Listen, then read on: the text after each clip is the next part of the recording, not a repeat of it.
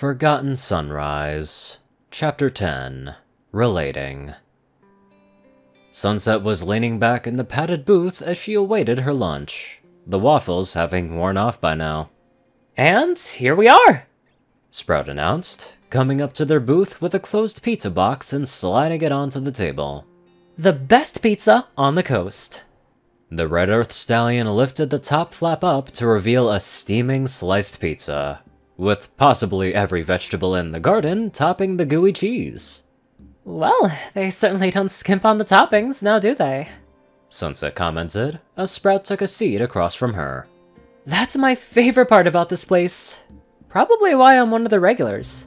So, you called yourselves the Equestria Girls? I actually don't remember exactly who came up with that. It had to have been either Flash or Lyra. But yeah, that name spread around the school for our circle of friends that handled anything magical from time to time. Well? Sunset began, using the wooden and metal spatula to pull out her first slice, her mouth positively watering at the cheese pull that resulted. You've heard my story. Let's hear yours. Sunset passed him the spatula so he could get out his first slice, putting it down on his plate.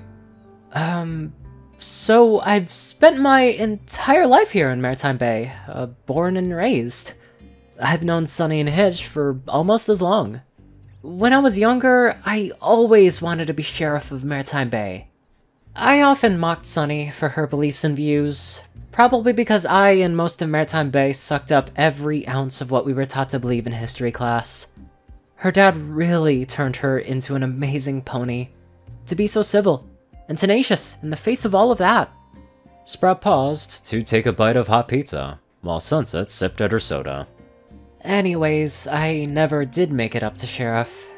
And it was likely only because of Hitch's good graces that I was his deputy. Mainly, he just had me keep an eye on Sunny when he figured she was gonna stage another protest or try to sneak into Canterlogic again for another demonstration or speech. Her latest attempt was during my mom's annual showcase. After it went about as well as her other demonstrations, Izzy wandered into town and drove every pony into a panic. Sunny took off with Izzy to go to Zephyr Heights, and Hitch gave chase, leaving me in charge. That's... that's when things got bad. Sprout took another couple of bites of pizza and a gulp of soda. He mentally prepared how to explain himself at his lowest point. The populace was spooked. They were looking to the police department for answers. Uh, Mom wasn't doing me or my ego any favors by suggesting that I take charge as acting sheriff, and I just wanted ponies to trust me. Like they trusted Hitch. I took the first pages out of his book, urging every pony to calm down, but I didn't act like him for too long. Instead, I started playing into their fears just to hang on to their trust. Because all I needed was just one taste of it. And before I knew, it was all I wanted. When Sunny and Hitch came back two nights later, I had every pony whipped into a small, panicky army that didn't last 15 seconds at staring down a few unicorns and Pegasi. And... Sprout took another deep breath finishing off his current slice of pizza. And when I thought they were going to use those crystals to give the unicorns and Pegasi their magic back, I went and toppled the lighthouse. Thankfully, after that, things calmed down. The crystals restored every pony's magic, and I, somehow, kept my job. I knew I didn't have the trust of any pony anymore, and I began to realize that nothing I did would ever get it back so I started splitting my time between the MBPD and Canterlogic, and when Sunny came to us wanting help designing a vehicle to get up north to the Crystal Empire, I decided to do everything I could to help her piece together Equestria's ancient past. We built a heavily modified version of my vehicle to get up to 8 ponies and a fair bit of cargo up and back. Now that we've discovered how much is up there and with how fulfilling I've found it, I've officially resigned from the MBPD and I'm working in Canterlogic's Research and Development Division full-time now. His story now complete, Sprout took another breath, and pulled another veggie-filled slice of pizza up from the box and over to his plate. Well, it sounds to me like we've both had troubled pasts. But you've made all the right choices lately, Sprout. I know that feeling. That you believe that you'll never earn their forgiveness or friendship. But I think you've already done that. The stallion smiled at the unicorn across the table. I guess if you speak from experience, I can trust that.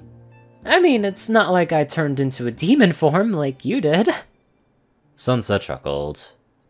It's not just my experiences that you have to account for. It's yours too.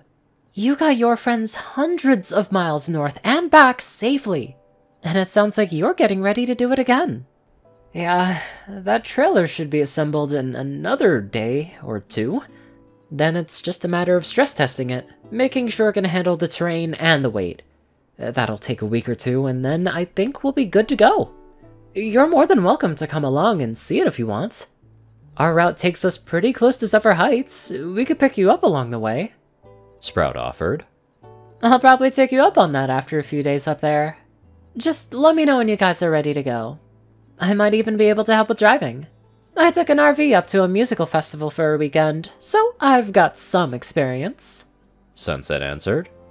As she started into her next slice, her phone vibrated on the table next to her plate. She lit up her horn and grabbed it, looking at the alert on the lock screen. From Pipp. Hey, Sunset! Zipp left for home early. Looking like it's gonna be just you and me camping on the way. Meet you at Sunny's in about an hour? Taking another sip of soda, Sunset tapped in a reply with a mode of magic extending from the tip of her horn. From Sunset. Sure thing. Just finishing up lunch. See you soon. Well, looks like I'm gonna be headed out here in a little over an hour. I don't think I'll be able to finish my half, so since you bought, you can have the leftovers. I'm glad to have gotten to know you, Sprout. Thanks for introducing me to the best pizza place in town.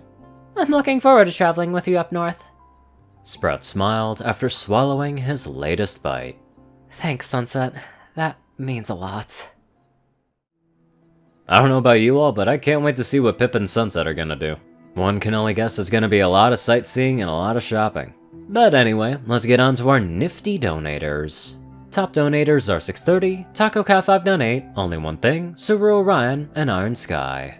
Darkside, Rayden, Normals, Black Moon, Moonheart, Pastel Skies, Austin Rollins, 2 Hex, Sword Brother, Mordred, Omicron Lyrae, Will Chris, Twinkie, Riot Soul, Baddest Waffle, Shadow Moon, Luigi88, Chancellor Crust, Big Smoke 369, Bobcat GJF, and many more awesome people.